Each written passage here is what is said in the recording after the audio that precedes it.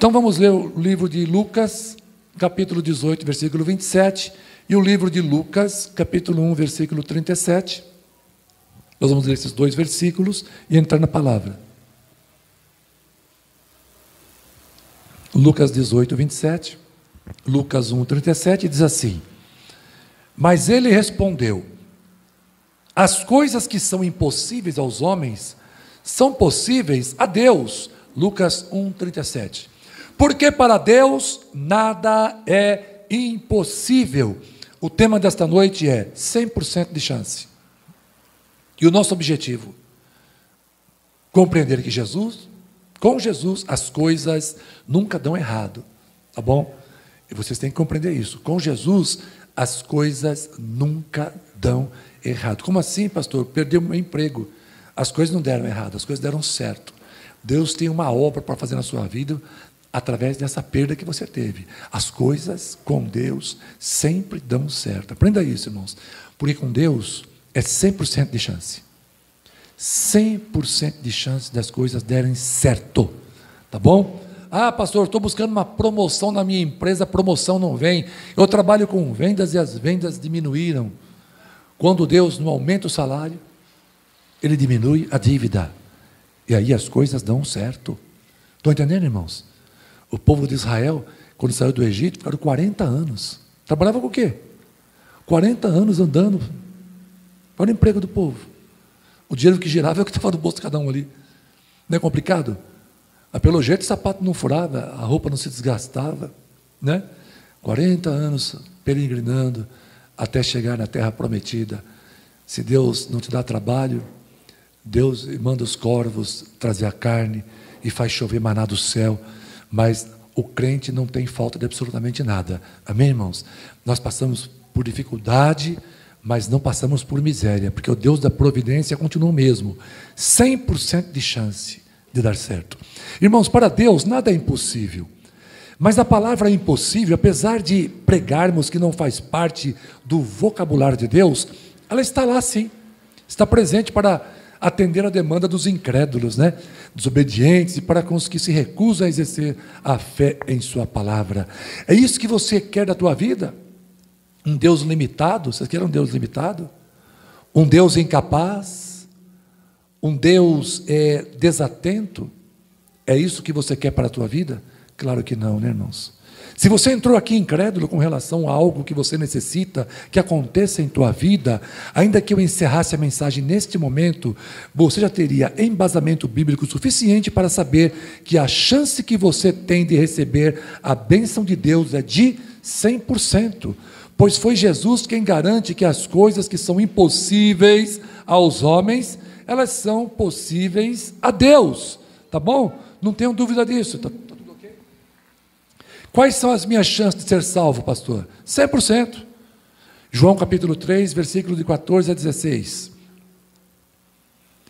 E como Moisés levantou a serpente no deserto, assim importa que o filho do homem seja levantado para que todo aquele que nele crê não pereça, mas tenha a vida eterna. Porque Deus amou o mundo de tal maneira que deu seu Filho unigênito, para que todo aquele que nele crê não pereça, mas tenha a vida eterna. 100%, gente. Se você crer em Jesus, se você andar na presença de Jesus, se você santificar a tua vida, se você orar, se você ler a Bíblia, se você é um crente de verdade, você tem 100% de chance de ser salvo, não tenha dúvida disso. Lutero disse o seguinte: quando eu olho para mim, não vejo como me salvar, mas quando olho para Jesus, não vejo como me perder. Estão entendendo, irmãos? Quando olho para mim, não vejo como me salvar, porque eu não presto, sou falho. Mas quando olho para Jesus, eu não vejo nenhuma chance de eu me perder, porque Ele é perfeito, Ele é glorioso, Ele me sustenta em Suas mãos. Ele é um Deus maravilhoso. Portanto, eu sou 100% salvo. E não tenho medo de me perder, não, irmãos. E olha que eu não sou calvinista, hein? Eu não sou daqueles que, que acreditam no destino da alma, não. Não. Não creio nisso, não. Apenas não tiro os meus olhos da cruz. Quer 100% de chance de ser salvo? Olha para Jesus. Olha! Olha! E permita que Ele segure a tua mão. Pois a questão não é se você está segurando a mão de Deus, e sim se Deus está segurando a tua mão. Esta é a grande questão, é o X da questão.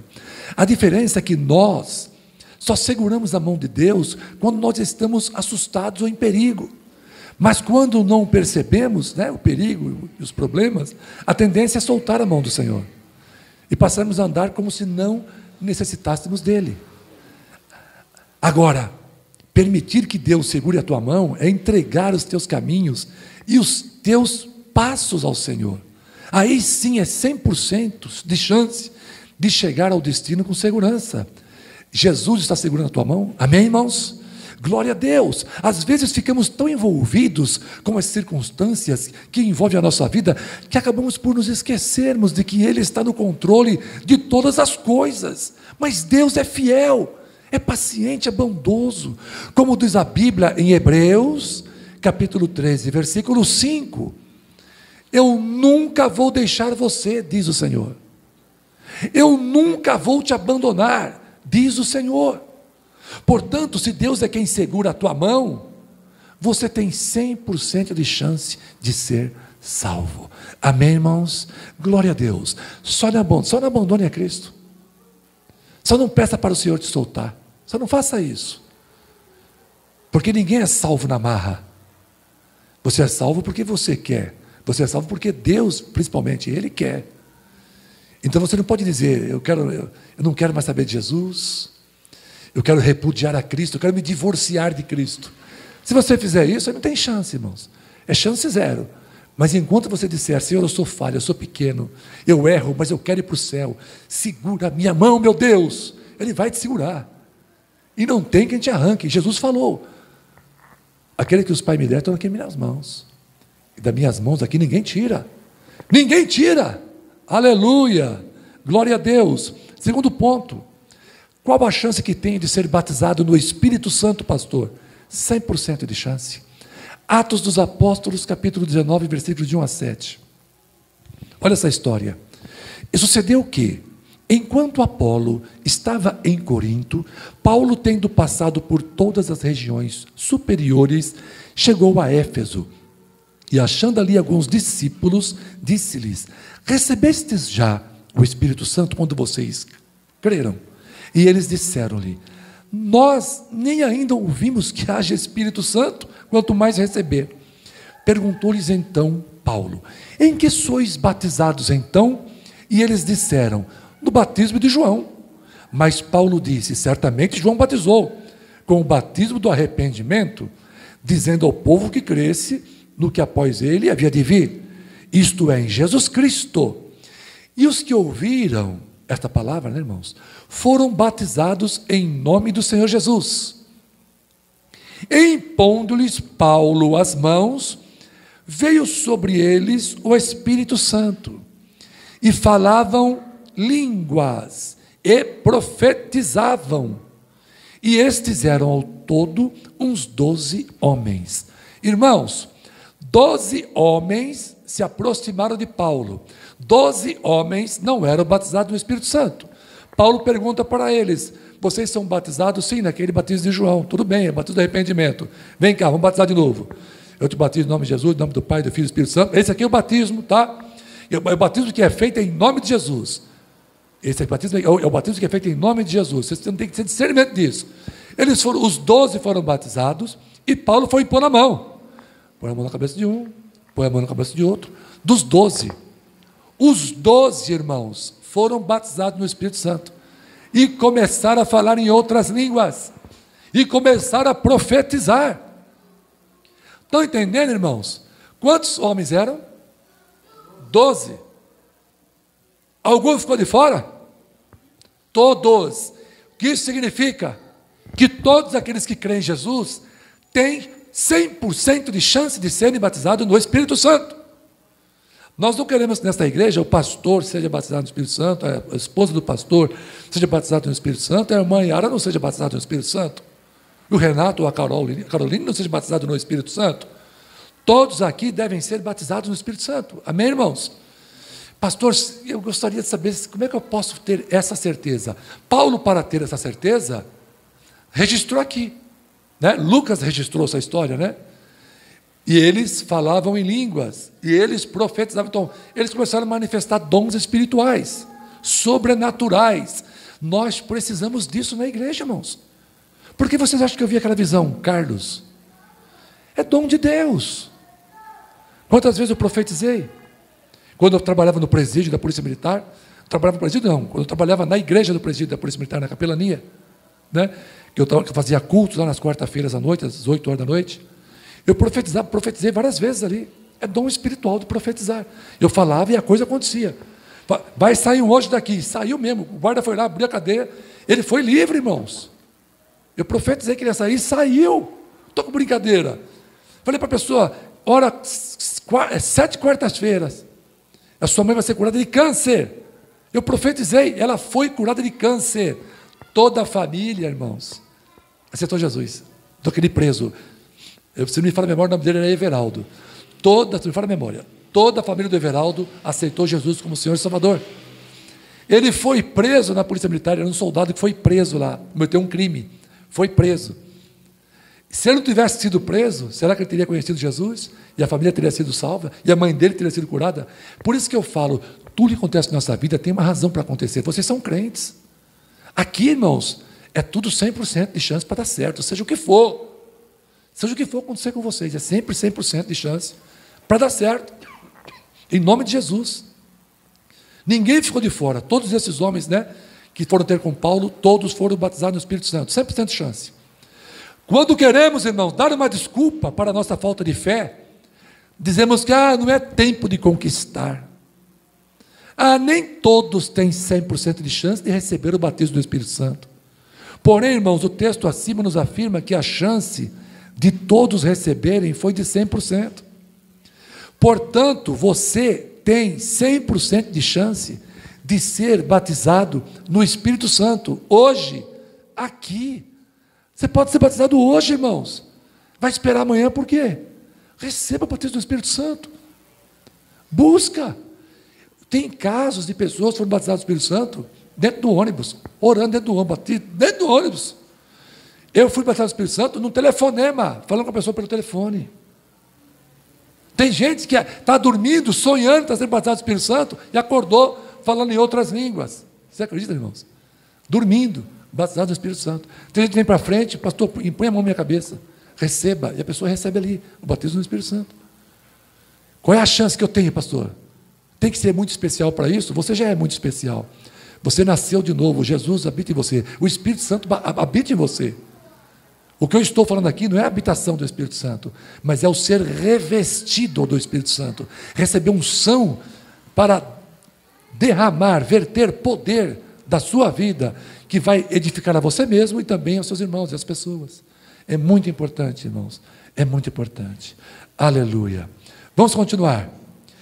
Terceiro, qual a chance de sermos libertos das garras do diabo? Qual é a chance, irmãos, de sermos libertos das garras do diabo? 100 ou 90? 100%. Mateus capítulo 17. A partir do versículo 14. E quando chegaram, a multidão aproximou-se-lhe um homem, pondo-se de joelhos diante dele, dizendo: Senhor, tem misericórdia do meu filho, ele é lunático. E, e, sobre, e sofre muito, pois muitas vezes cai no fogo muitas vezes na água, e trouxe aos teus discípulos e não puderam curá-lo.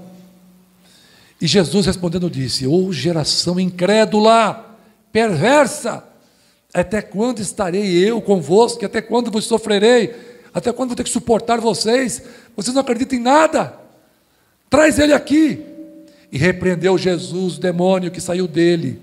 E desde aquela hora o menino sarou. Então os discípulos, aproximando-se de Jesus, em particular, disseram: Por que não pudemos nós expulsá-lo, Jesus? Jesus lhes disse: Por causa da vossa pouca fé.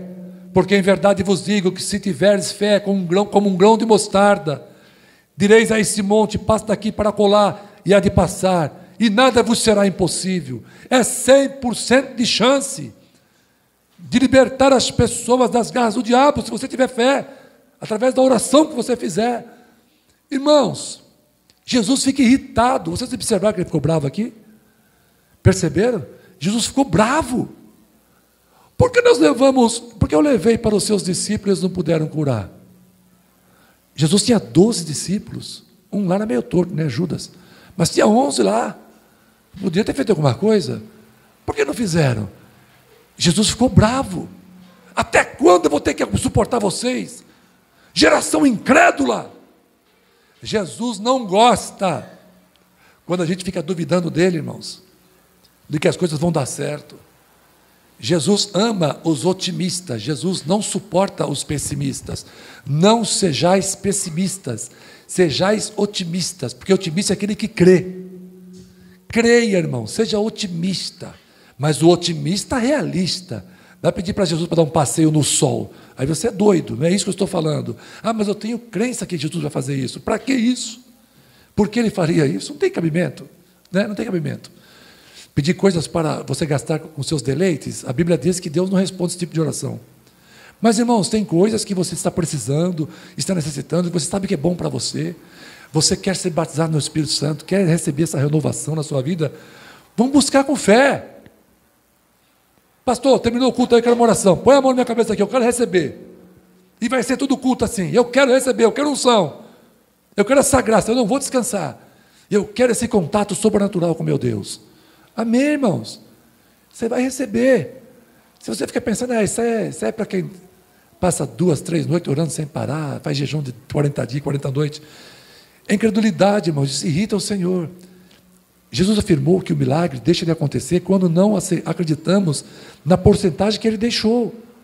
E a porcentagem do sucesso, para quem crê, é de 100%. Irmãos, deixa eu contar uma história para vocês. Eu estava ouvindo um programa numa rádio, e o radialista estava comentando sobre o jogo de Portugal e França na época, né? Acho que foi 2016, Portugal e França. Foi 2016. Ele disse que, desculpa, irmãos, Portugal e Alemanha.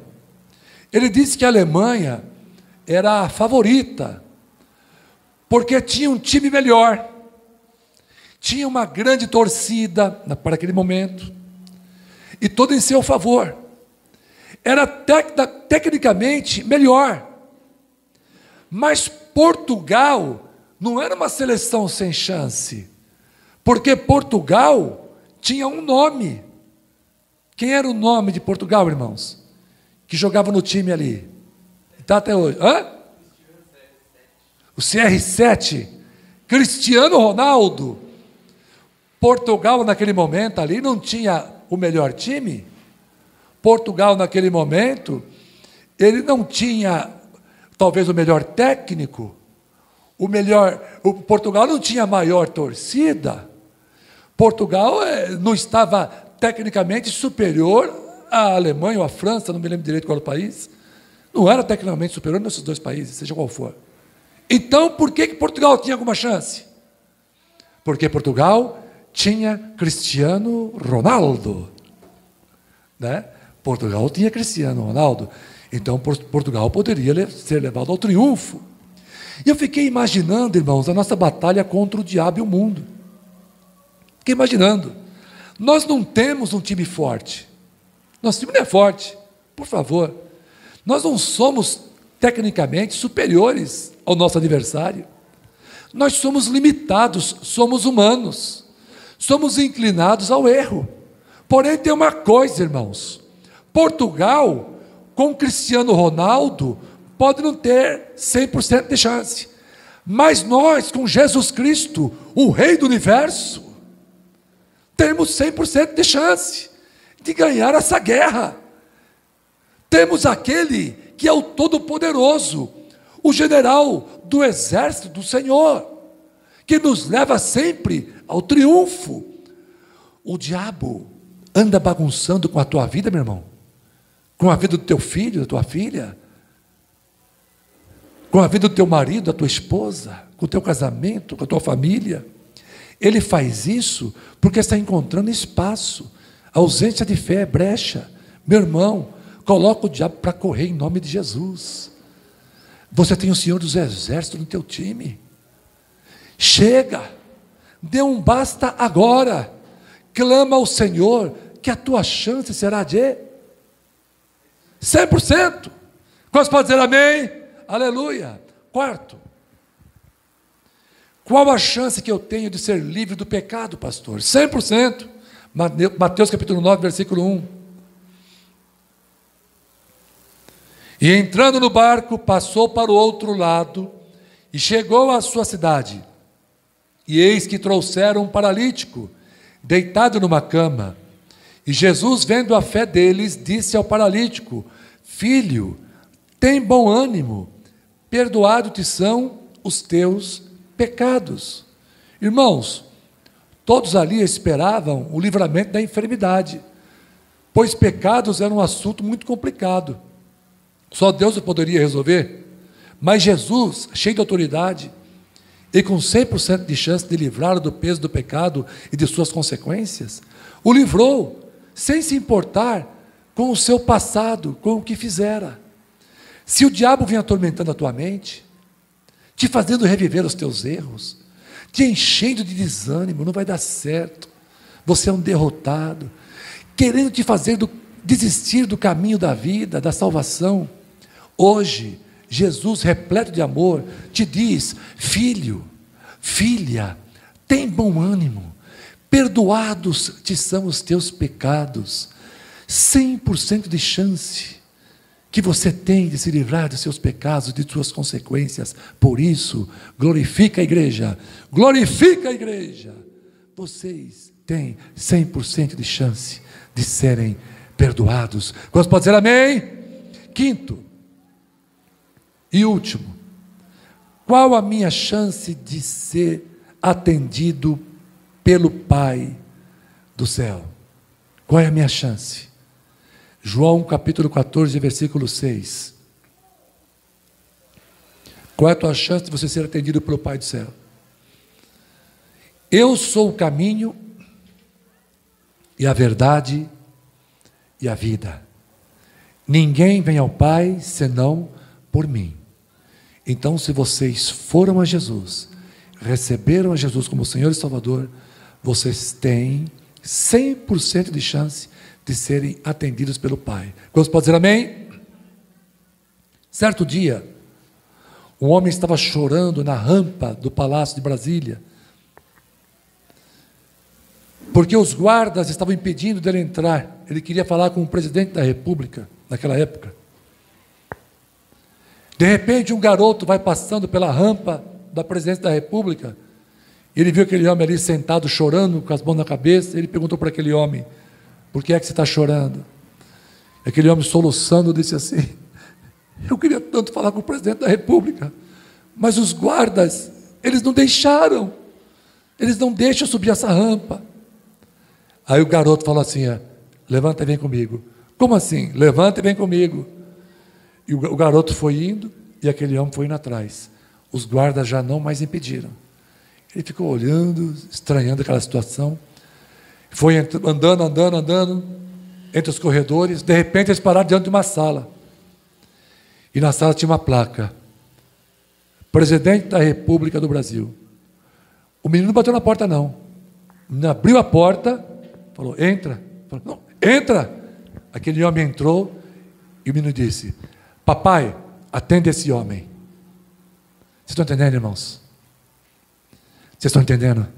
Eu sou o caminho disse Jesus: Eu sou a verdade, eu sou a vida, e ninguém vem ao Pai a não ser por mim. Ninguém sobe a rampa, ninguém chega ao presidente do universo a não ser por mim. Então, irmãos, pare de chorar. Estenda a sua mão, deixe Jesus agarrar a tua mão. Ele vai te levar até o gabinete do Pai. E você vai ser atendido por Ele. Amém, irmãos? Jesus não precisa bater na porta. Não precisa abrir a porta, bater na porta, não. Ele abre a porta e você entra. E você tem acesso ao Pai.